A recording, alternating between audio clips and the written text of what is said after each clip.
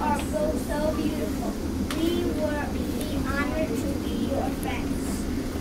Do we not look familiar to you? Once we tried to be your friends, but you all rejected us, saying we were ugly and different.